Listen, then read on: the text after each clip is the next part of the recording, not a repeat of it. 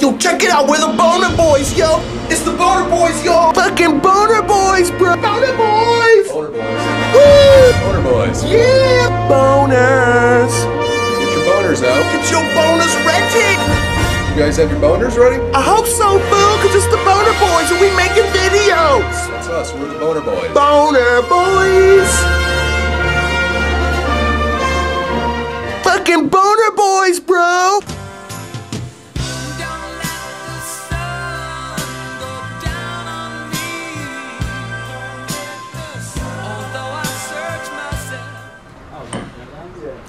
Oh, the bon- this is about the Boner Boyz. Mm-hmm. Yeah. Um. No, I, I was a big fan of the Boner Boyz. Uh, I, I like their videos, you but then they died. You know, that's just messed up.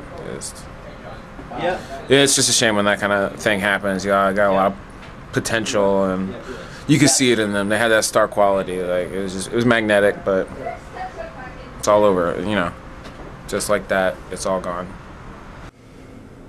How'd you meet the Boner Boyz? I met them. Uh, I was on location uh, making a very serious video about um, education. And they came in with these huge dildos, and it was just hilarious. Everyone was just laughing. We couldn't we couldn't get one take off. And uh, they asked me to direct one of their boner videos.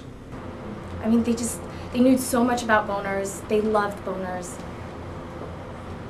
And they loved making film. I mean, they were going to do a TV show. I was going to be part of the TV show. It's so tragic. So you knew the Boner Boyz? Yeah, I knew one of them. I, I knew them both, but I knew one real well. Well, I was huge into the Boner Boyz. They were, I was the big, big fan of the Boner Boyz. Um, but then they died, and that was the sucky part. The- The guy on the phone who's texting, actually, he was texting me during that video, um, and calling me, telling me how excited he was to be, you know, starting this whole venture. But, you know, they never got it off the ground. It was so sad. But he was excited.